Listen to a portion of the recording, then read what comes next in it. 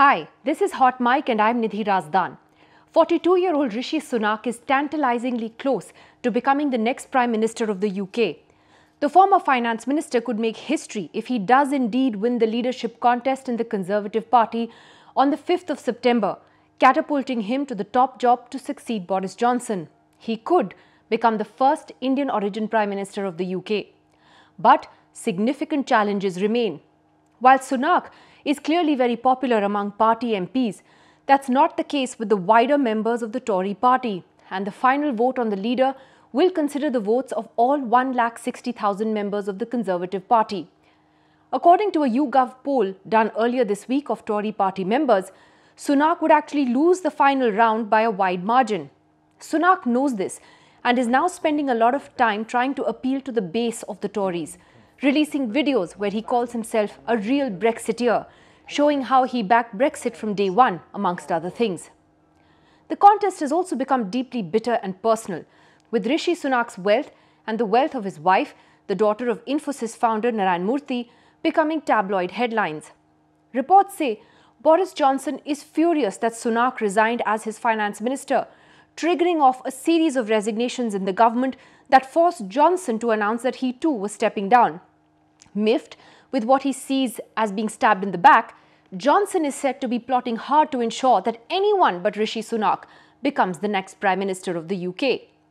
So, how did Rishi Sunak get here? Born in 1980 in Southampton, Rishi Sunak had a life of privilege.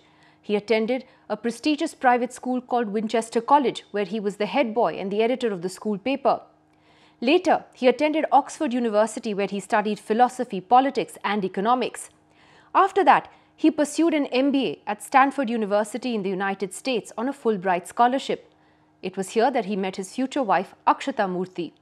They now have two daughters. From 2001 to 2004, Rishi Sunak worked for Goldman Sachs, moving on to become a partner in two hedge funds, which helped small British companies to grow. In 2015, he was elected as an MP from Richmond in Yorkshire on a Conservative Party ticket.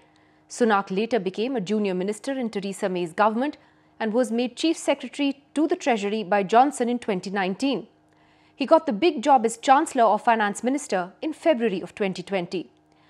Sunak was widely praised during the pandemic for helping British businesses and employees as they faced unprecedented losses due to the lockdowns. But after that, when he raised taxes just as the UK began dealing with the cost of living crisis, Sunak was accused of being out of touch with the reality of ordinary folks who were struggling to make ends meet. His wealth and privilege have often made him the target of critics. In 2001, he was interviewed along with his parents for a BBC documentary about the middle classes, during which he remarked that I have friends who are aristocrats, I have friends who are upper class, I have friends who are working class, well, not working class. Needless to say, that video clip has gone viral all over again. His wife, Akshata Murthy, a billionaire heiress, has come under a lot of scrutiny for her background and for avoiding high taxes in the UK thanks to a law that allows non-domiciles to skip taxes on income earned abroad.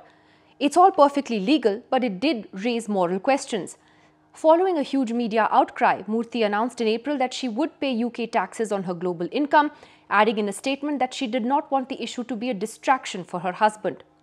In the Sunday Times Rich List of 2022, which ranks the wealthiest people in the UK, Sunak and Murthy were placed at 222nd with an estimated combined wealth of 730 million pounds. Addressing all of this head on, Rishi Sunak recently said, there is a commentary about my wife's family's wealth. So let me just take that head on because I think it's worth doing because I'm actually incredibly proud of what my parents in law have built. The question is Will Rishi Sunak get past all of this and ultimately make history as the first Indian origin Prime Minister of the UK? For that, you'll have to watch this space.